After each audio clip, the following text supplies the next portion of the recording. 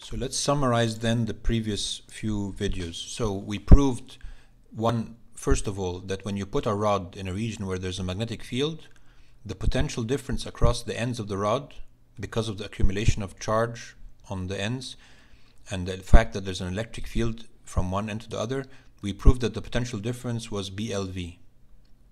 And we also proved that the EMF uh, through this closed circuit, for this closed loop, if you use the rule that the EMF is d phi by dt, at least thinking about the magnitude in this case, then it's also BLV.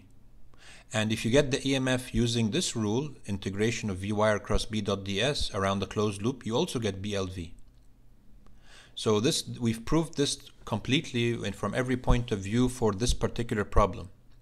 But we just want to reiterate that this just makes it plausible why this term can be written like this. We didn't prove it in general for any case, but the general case is maybe proven in a more advanced course. So you can you can always prove that this is equal to this, but we're not going to do it in this course. We just proved it for the particular simple case of the rod moving on a rail, two rails. So if the magnetic field is constant in time and it's not changing and the wires are moving, this is the EMF. And you can also write it the way we wrote it before as minus d phi by dt. If you want to then get the current in the circuit, well, it's like any other problem from circuits. You, you have an EMF, source of EMF, which is the rod that's moving. You have a resistance, so there's the current is just EMF over resistance, so it's BLV over R.